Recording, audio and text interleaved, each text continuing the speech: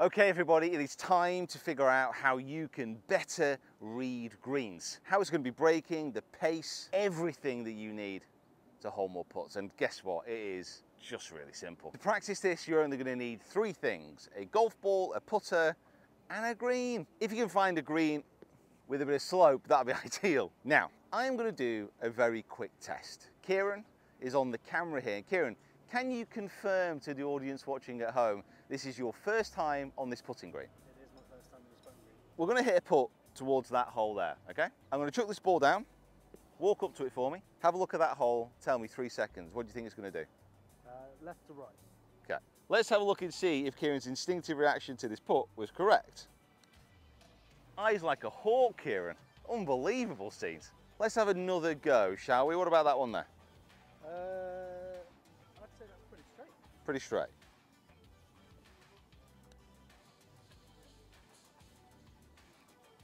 You're a wizard, Kieran. now, this is the point that I really want to emphasize. Unless you've got something wrong with your inner ear, you're going to be able to get on most greens and have an instinctive understanding of what the break is going to do. And if you don't believe me, the next time you go out and play, don't bend down, don't look at putts, just get out there, get a sense and have a stroke. You will be amazed at how good your instinctive green reading is and you can trust it that little bit more.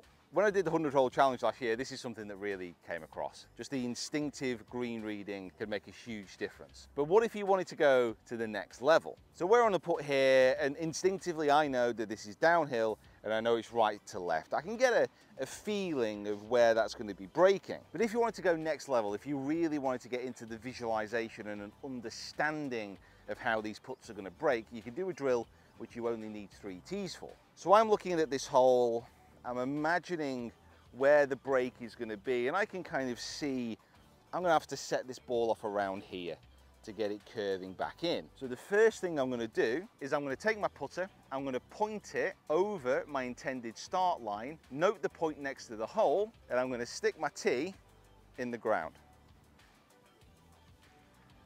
This is my aim line.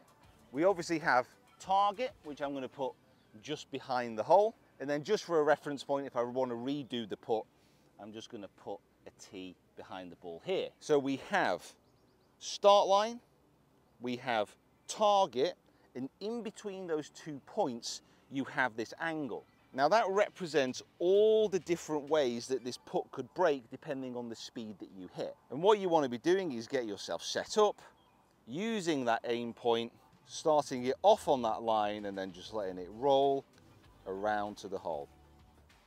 Turn in, turn in, turn in, turn in, turn in. And the more and more you practice that type of drill, when you get onto the golf course, you'll start to see puts more in that manner.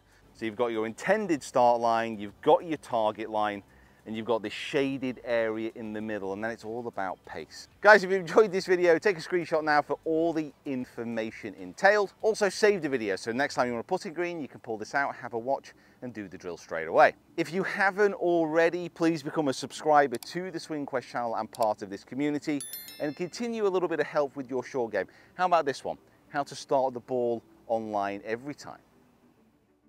Wonderful.